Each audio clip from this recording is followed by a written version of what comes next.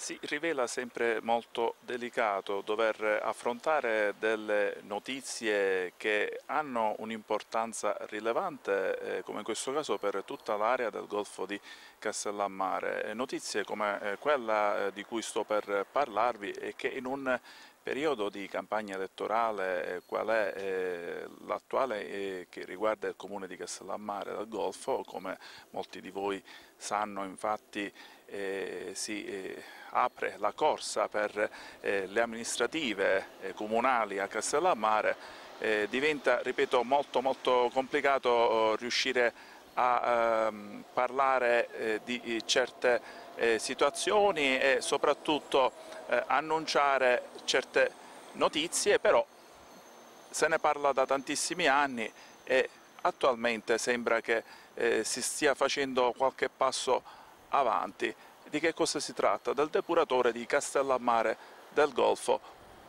Qui al Belvedere di Castellammare non mancano oh, le visite turistiche e non mancano mai vedute mozzafiato come eh, quella che vi posso offrire con queste immagini. Chiaramente anche i territori che si affacciano sul Golfo di Castellammare, soprattutto in questi anni, stanno cercando di fare dei passi avanti per eh, dotarsi di servizi eh, basilari in tema soprattutto di accoglienza turistica, ma servizi soprattutto basilari per quanto riguarda il rispetto dell'ambiente e di conseguenza il depuratore comunale di Castellammare è una grave mancanza alla quale si deve cercare al più presto di ovviare.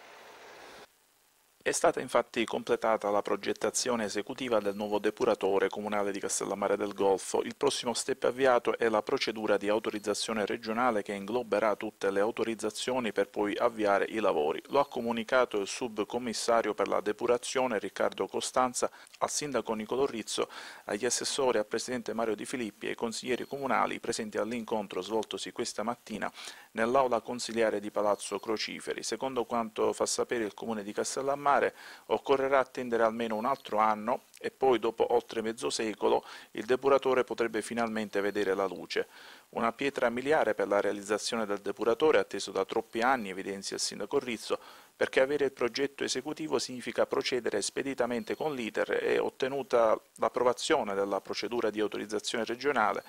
il progetto sarà finalmente cantierabile. Un progetto avveniristico e rispettoso dell'ambiente e del risparmio energetico, come ci hanno indicato oggi il subcommissario Riccardo Costanza e i progettisti, prosegue il sindaco di Castellammare, che ringrazio per la disponibilità e attenzione alle nostre continue sollecitazioni.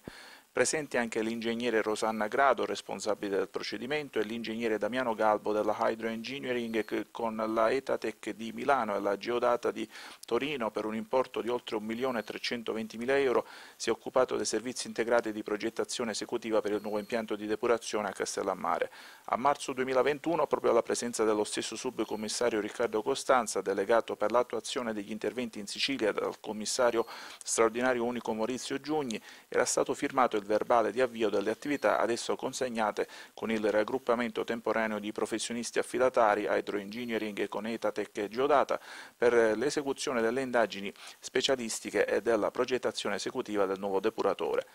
L'opera è finanziata con 18 milioni e 300 mila euro e assieme all'altro intervento previsto per il sistema fognario della frazione di Scopello, progettazione esecutiva in affidamento, consentirà l'uscita dell'agglomerato castellamarese dalla procedura di infrazione 2009-2034 aperta nei confronti dell'Italia per il mancato trattamento delle acque reflue in aree sensibili già in sentenza di condanna. Il progetto esecutivo prevede una spesa di oltre 30 milioni di euro che, come ha fatto presente il subcommissario Costanza, dovranno essere previsti per la parte aggiuntiva da struttura commissariale e Ministero dell'Ambiente. Riccardo Costanza ha sottolineato che in fase progettuale è stato minimizzato l'impatto ambientale e antropico che riguarda odori, rumori, impatto architettonico e di suolo con una progettazione integrata che ha visto tante professionalità lavorare nell'ottica di un impatto sul territorio che sia il minore possibile.